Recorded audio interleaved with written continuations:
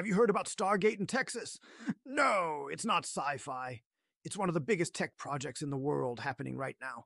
Let me explain it. Stargate is a massive AI data center project backed by OpenAI, Oracle, and big investors like SoftBank.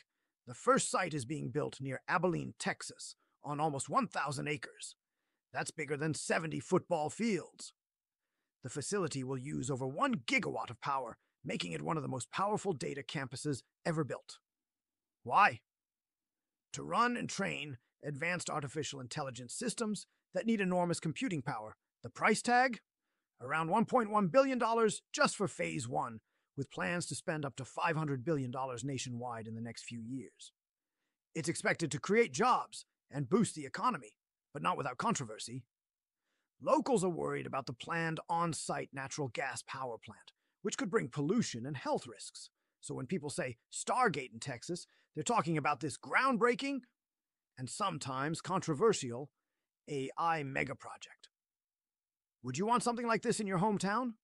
Drop your thoughts in the comments and follow for more insight like this.